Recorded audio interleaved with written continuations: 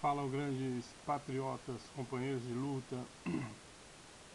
E eu vim fazer esse vídeo porque o que aconteceu, está acontecendo em vários estados, aqui eu como sou de Minas, não está acontecendo isso não, que eu saiba, né? É, é só que na minha cidade aqui do interior, é, eu fiquei sabendo que o prefeito mandava os seus guarda-costas irem intimar os donos dos estabelecimentos. Eu não posso comprovar, mas eu fiquei sabendo por alto uma fonte.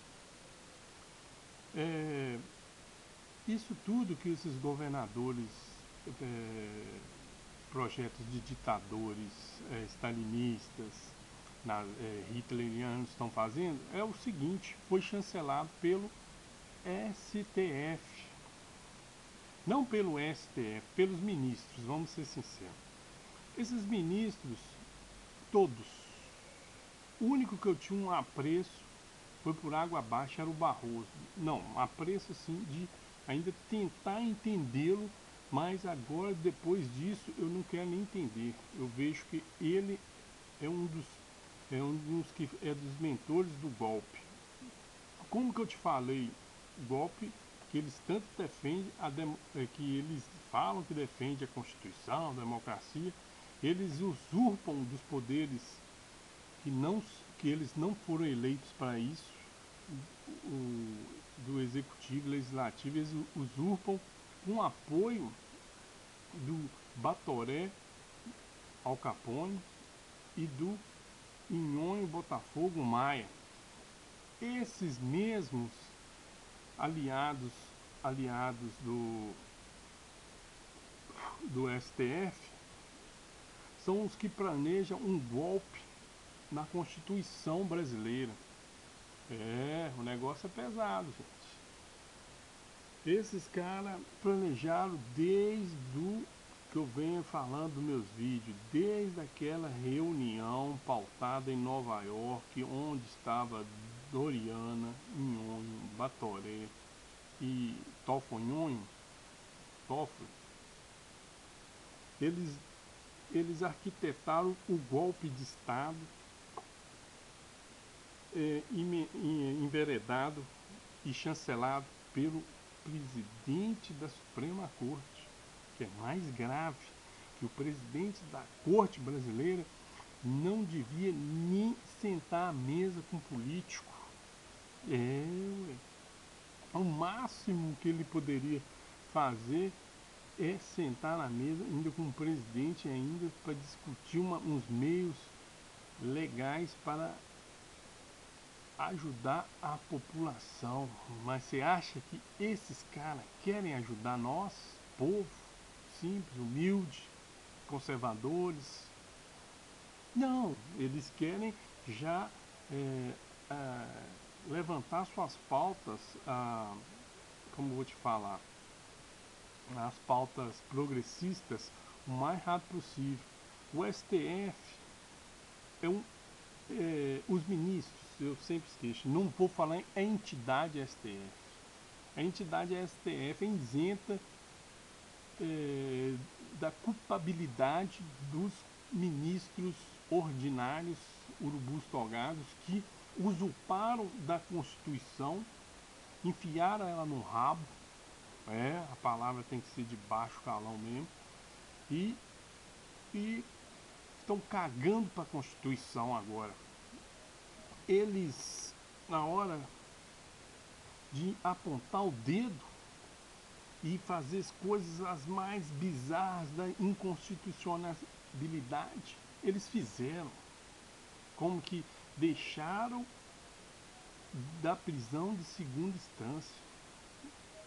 Se essa mesma brecha tem na Constituição, por que, que eles, em vez de é, tentarem fazer um argumento lógico, que vê que o Brasil é um país que tem muitos crimes, e os crimes de colarinho branco são os que mais tem, e eles, para demonstraram durante o julgamento do Lula que, tinha, que eram advogados, não ministros do STF, que teriam que ser imparciais.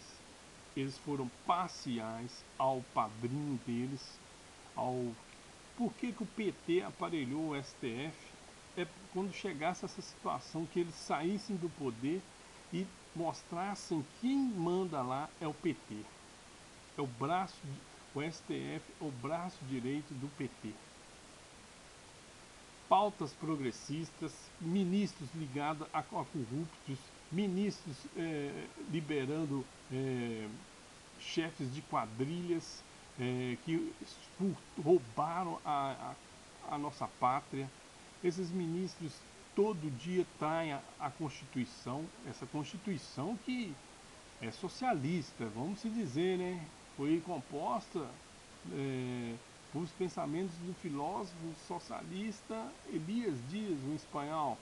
É, é duro, mas é verdade.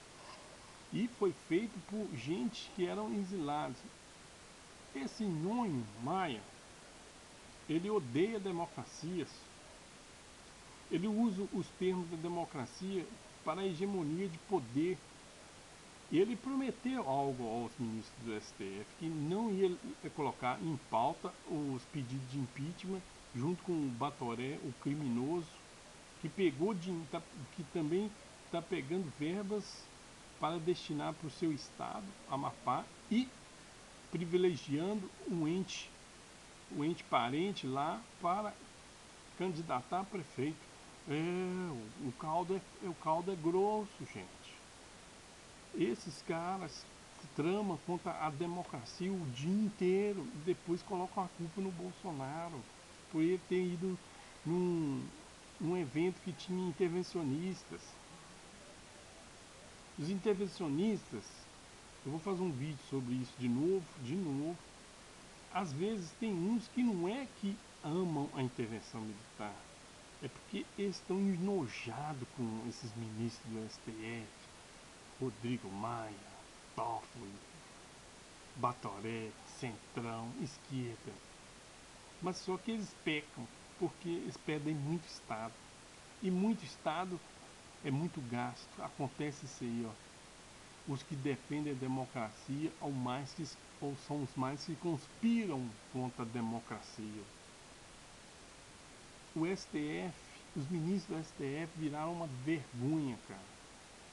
Defende aborto, legalização das drogas, legalização da, de não prender corruptos. É,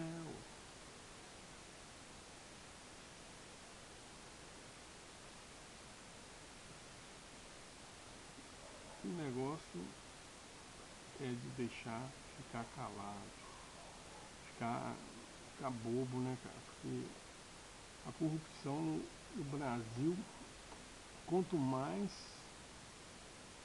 as pessoas lutam, mais, mais tem pessoas que remam contra. É um vício, é um vício com efeito rotativo de roda gigante que é, é como remar contra a maré. Por exemplo, o presidente Bolsonaro não colocou, não indicou partidos políticos para ministério por causa disso, por causa do, do roubo que acontecia, desvio de verbas, de dinheiro público para candidaturas de aliados políticos do Centrão, principalmente. E vendo nisso, ele dispensa o Mandetta, o Mandetta que estava é, fazendo da pasta ali o alicerce para alimentar o bem e suas oligarquias criminosas que fazem parte do, da velha política criminosa.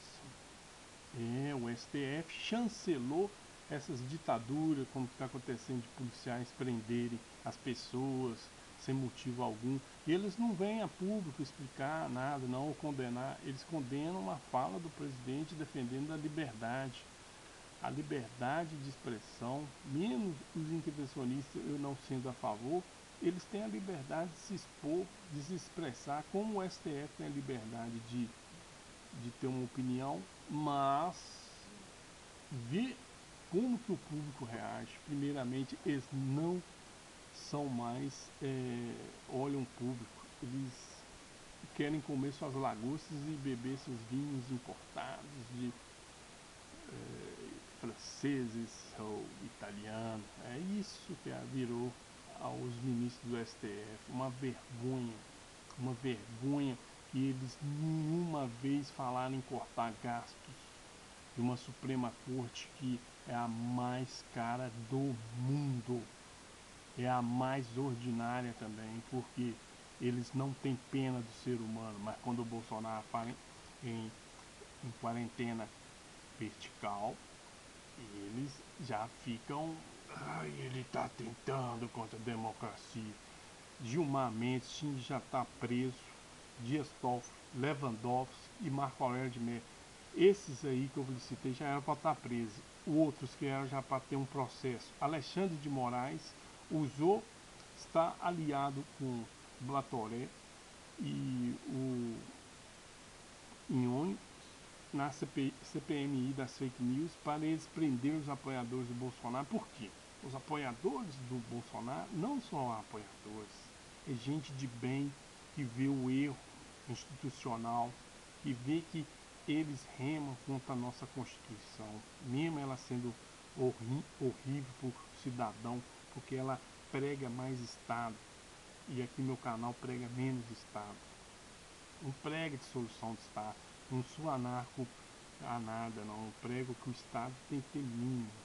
Porque muitas pessoas ainda dependem do Estado, pessoas de baixa renda. Eu sou, como conservador, a gente tem a visão que precisam de um Estado para ajudar essas pessoas, até eu mesmo já dependi do Estado. Não vou falar não, por isso que eu não sou ninguém que prega extinção de Estado. Eu prego pessoas de bem e instituições pregando é, um, um, diálogo aberto com o povo.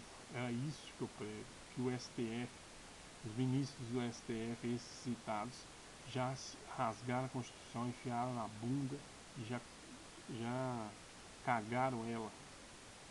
Eles usam o papel da Constituição para implementar as pautas progressistas para desviar o foco de que eles não são é, totalmente capacitados para aquelas vagas, porque eles não foram, a grande maioria ali não foi jurista, foi juiz, é, são, grande maioria são advogados. Ou, eu acho que Carmen Lúcia, é se não me falha a memória, a única que, que escapa ali, se não me falha a memória, que foi procuradora, não sei se o, o Celso de Mello, o Fux também foram. É, tem, tem, mas mesmo assim eles não foram juristas, juízes. Eles foram um procurador, o máximo. E ali é mais advogados petistas, advogados sindicalistas que tem ali. Ali o STF, os ministros viraram advogados sindicalistas. Eles botam as pautas com entendimento político, não com entendimento jurídico. Fiquem espertos com essa turma de traidores. Deus, pátria e família é o lema de um conservador e propriedade privada. Fui.